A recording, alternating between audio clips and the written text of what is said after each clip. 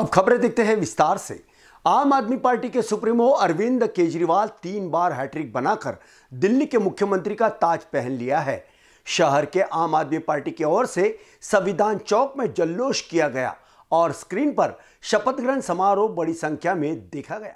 दिल्ली के भारी भरकम बहुमतों से बासठ सीटों पर जीत का परचम आम आदमी पार्टी द्वारा लहराया गया।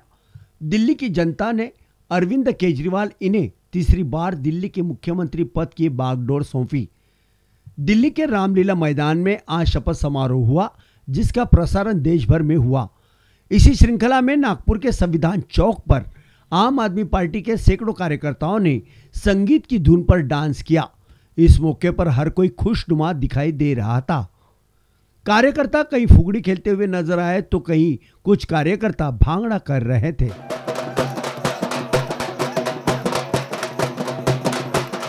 एक वैन में बड़ी टीवी स्क्रीन लगाई गई थी, जहाँ पर आम आदमी पार्टी के कार्यकर्ताओं ने शपथ ग्रहण समारोह देखा। शपथ ग्रहण समारोह के दौरान मुख्यमंत्री अरविंद केजरीवाल। इन्होंने दिल्ली के नागरिकों का धन्यवाद करते हुए हर क्षेत्र के लोगों को शपथ ग्रहण समारोह में बुलाया। टैक्सी चालक, बस चालक, मेट्रो चालक, सफ़ाई कामगार, कर्मचारी आदियों को पहले पायदान के सोफे पर बिठाकर उनको समारोह में सम्मान दिया। जैसे जैसे शपथ समारोह चल रहा था, कार्यकर्ताओं में जोश बड़ी संख्या में दिखाई दे रहा था। कौन कहता है कि आसमां में सुराग नहीं होता? एक पत्थर तो तबीयत से उछालो यार। कुछ इस तरह का काम दिल्ली के राजनीति में हुआ है, जहाँ पे अरविंद केजरीवाल इन्होंने अब की बार भी मुख्यमंत्री बनाने का मन किया ये इनकी हैट्रिक है। जो अभी जो चुनाव हुए, उसके अंदर भारी बहुमतों से 62 उनकी जो पूरी सीट्स निकल चुकी है, जिसके चलते आज नागपुर शहर में बहुत ही बड़ा एक जल्लोश किया जा रहा है और थोड़ी देर के पश्चात यहाँ पे दिल्ली के उस रामलीला मैदान पे जिस तरह से ये एक प्रोग्राम जो होने जा रहा है शपथ विधि का उसका जो लाइव प्रसारण है नागपुर का ये वही ऐतिहासिक संविधान चौक है जहाँ पे ये तमाम आपके कार्यकर्ता आज आए जोरदार तालियों के साथ केजरीवाल जी का स्वागत करते हुए नज़र आ रहे हैं। अपनी जीत को लेकर हर किसी कार्यकर्ता के चेहरे पर एक उत्साह दिखाई दे रहा है मुस्कान सी दिखाई दे रही है और हो भी क्यों ना क्योंकि जिस तरह से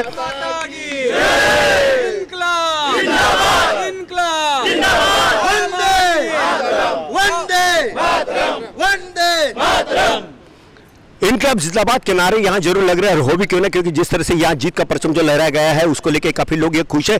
इस समय में हम देवन वानखेड़े हमारे साथ में आई उनसे जानना चाहेंगे। वानखेड़े साहब ये बताए कि कैसा लग रहा है आज हैट्रिक केजरीवाल साहब ने जो, उन्हें जो मिली है?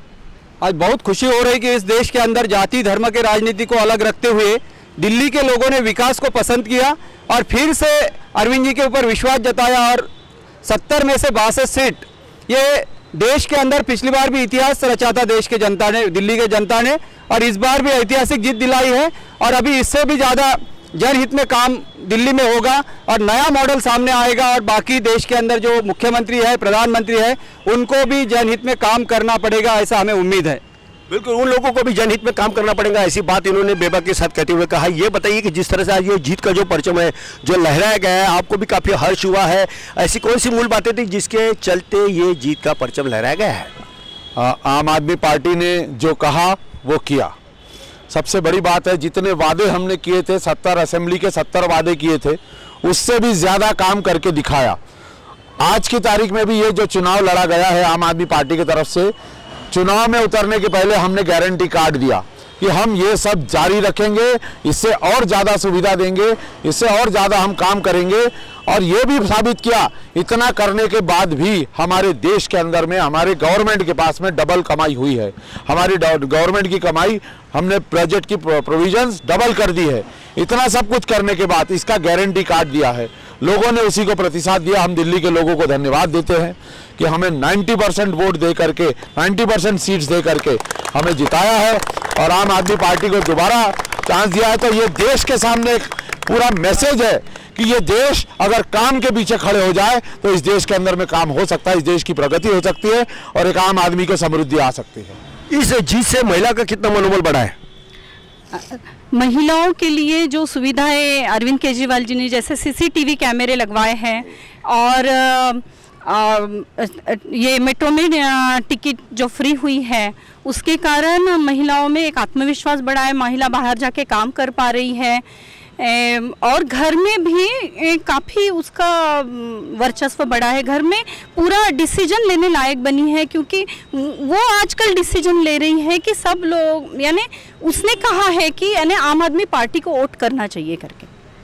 महिलाओं को जो उन्होंने सम्मान दिया है, सीसीटीवी कैमरा लगवाया है महिलाओं के सुरक्षा के लिए बसेस में यात्राएँ फ्री कर दी है महिलाओं के, महिला सुरक्षा के लिए, महिलाओं के लिए मार्शल्स तैनात किए हैं महिला सुरक्षा के लिए।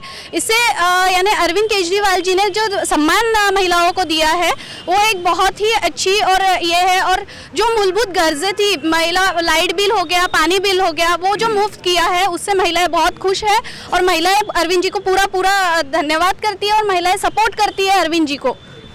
सर, देखिए, आज से पाँच साल पहले कोई ऑड इवन फार्मूले के बारे में नहीं जानता था। किसी ने नहीं सोचा था कि टैंकर माफिया खत्म होगा। मोहल्ला क्लिनिक का कॉन्सेप्ट किसी को पता नहीं था।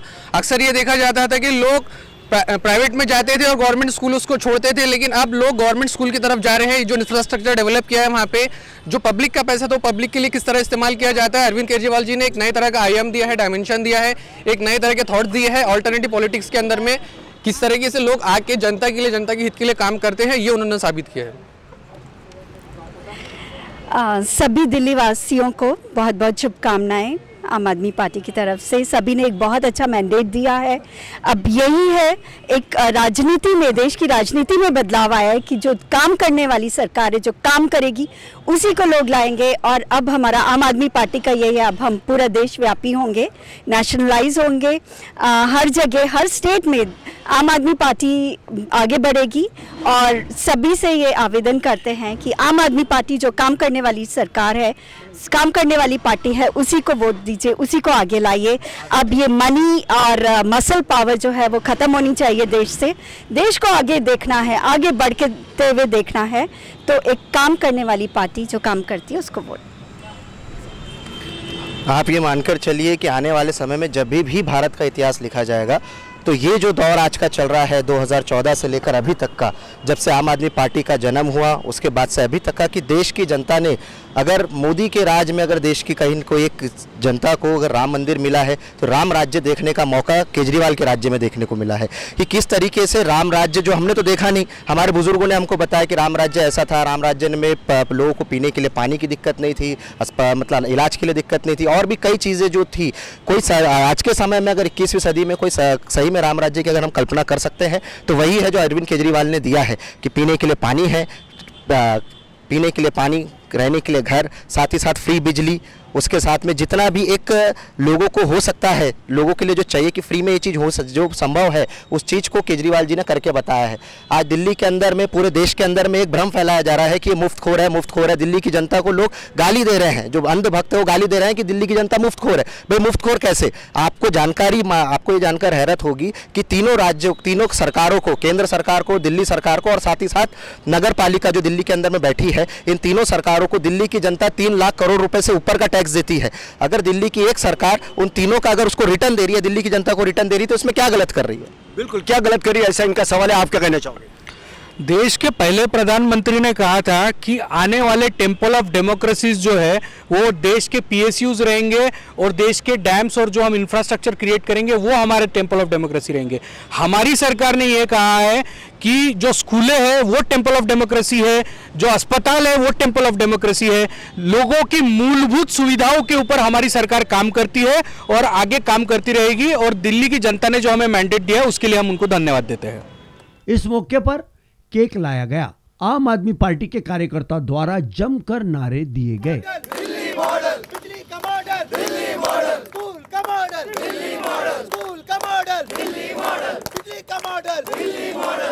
इस मौके पर नागपुर आम आदमी पार्टी के कार्यकर्ताओं ने अपनी बात इन बीसीएन समक्ष रखी। देश का लाल केजरीवाल के नाम से आज यहाँ पूरा जो क्षेत्र है, सराबोर उठा है। संविधान चौक पे इस समय में इन विषय की टीम है। हम आपको बता दें कि आज शपथ विधि का प्रोग्राम जो है दिल्ली के रामलीला मैदान पे यहाँ पे वो प्रोग्राम शुरू है, जिसकी क्लिपिंग्स हम यहाँ दिखा सकते हैं आपको कि थोड़ी देर में शपथ विधि का प्रोग्राम यहाँ पे एक बहुत बड़ी एलसीडी एलईडी स्क्रीन लगाई गई है, जिसके ऊपर में प्रोग्राम दिखाया जा रहा है। नागपुर शहर के ये वही होनहार कार्यकर्ता है, जो हर प्रोटेस्ट में ये अक्सर रहते हैं। अपने आम आदमी पार्टी की बात को सरकार तक पहुँचाने के लिए ये तमाम कार्यकर्ताओं ने अब तक के कई ऐसे आंदोलन किए हैं और खासतौर पर जीत भी उन्होंने हासिल की है। आज के लिए इनके लिए बहुत बड़ा प्रोग्राम है, क्योंकि 62 सीट्स इनकी आई हुई है। जिस तरह से भारतीय जनता पार्टी ने इनके ऊपर में दबाव का तंत्र जो बनाया था, और खासदार से लेके आमदार से लेके विधायक से लेके तो पार्षद से लेके तो एक छोटे से सरपंच से लेके हर कोई केजरीवाल के ऊपर में कूद पड़े थे, इतना होने के बावजूद भी अरविंद केजरीवाल इन्होंने जिस तरह से डिफेंस जो किया है, और अपने आप को बचाते हुए दिल्ली का जो मैंडेट उनको मिला है, दिल्ली के लोगों ने उन्हें बेहद प्यार किया है, जिसके चलते भारी बहुमतों से आम आदमी पार्टी का जीत का परचम मात्र दिल्ली में नहीं तो पूरे भारतवर्ष के साथ साथ पूरे विश्व में भी लहरा रहा है। यही सबसे अच्छी एक बात है। नागपुर के संविधान चौक से कैमरा पर्सन सुभाष के साथ संजय मीरा इनबीसी न्यूज़ नागपुर।